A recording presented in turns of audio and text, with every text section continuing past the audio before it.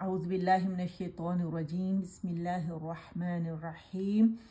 رب اشرح لی صدری ویسر لی امری واحلل عقدۃ من لسانی یفقہ قولی.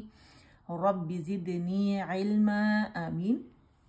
اچھا جی سورہ البقرہ ہم نے آیت نمبر سکسٹی تھری پر چھوڑی تھی اور رمضان کیونکہ سٹارٹ ہونے والا ہے، بیس مارچ ہے، تھوڑے سے دن رہ گئے تو ہم انشاءاللہ سٹارٹ کریں گے واپس سے آیت نمبر سکسٹی فور سے۔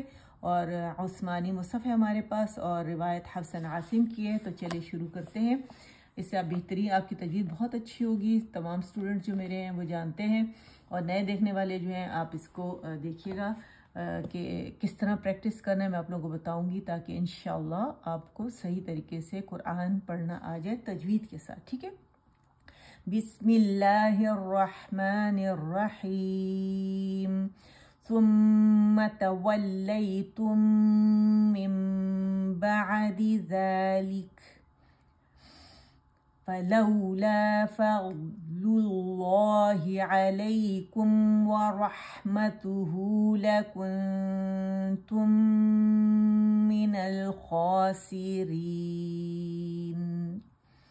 ثم ثم ثم توليتم توليتم من بعد من بعد ذلك ذلك ذلك.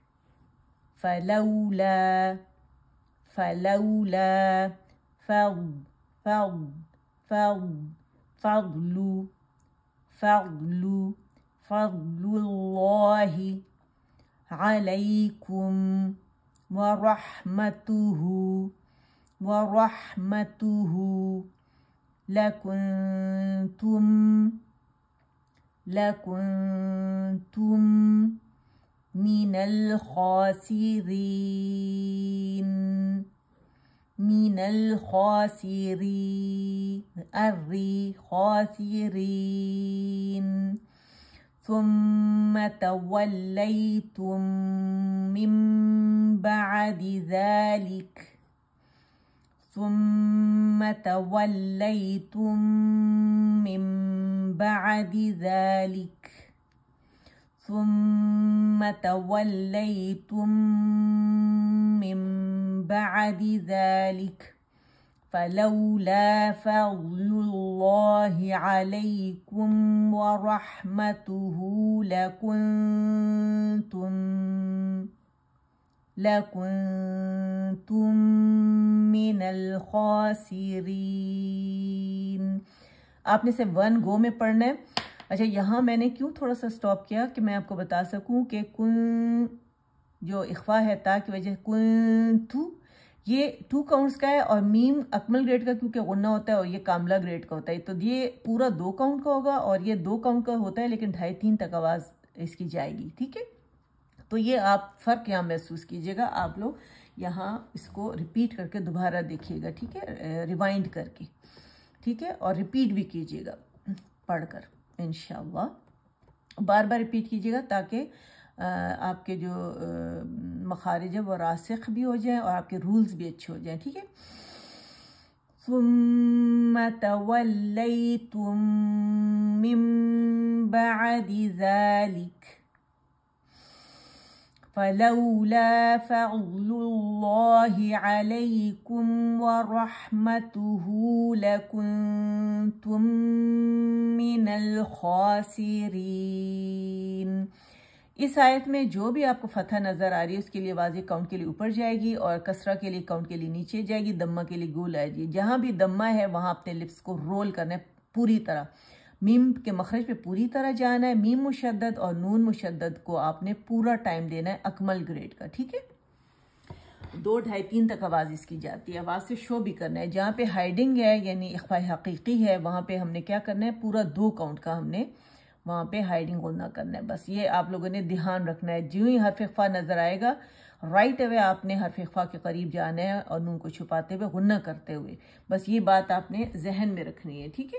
ایک دفعہ اور پڑھ لیتے، پھر ختم کرتے ہیں۔ سم ثم، میم فتح م ثد مسو تولیتم میم کو پورا ٹچ کریں گے خشک سے، ٹھیک ہے؟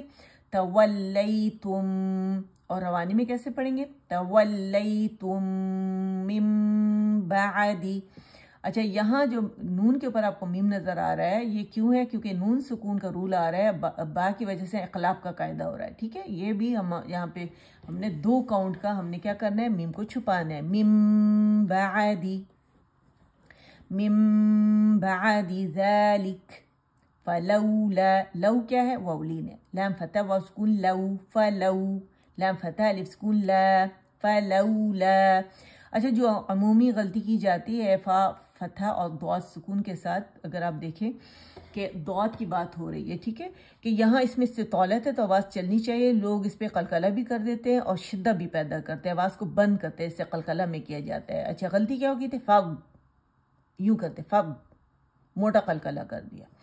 یہ قلقلہ کا لیٹر نہیں ہے، آواز چلے گی فاغ فاغ فاغ فاغ للہ للہ للہ، یہ لام باریک ہے۔ یہ جو ہے، اس میں جلالہ کا لام جو ہے، وہ کیونکہ سے پہلے دم آ رہا ہے، تو اسے ہم نے موٹا پڑھنا فضل اللہ علیکم عین فتح آئے لام فتح یسکن لئی لئی ہم نے یہاں پہ پورا جانا علیکم، کم ورحمتہ ورہ راہ ہے، بھی ہوگا۔ ورح، ہا کا پوری طرح ہم نے اس کا رخاوہ شو کرنا ہے، اس کا ہم سے اسے شو کرنا ہے، استفال شو کرنا ہے، ٹھیک ہے؟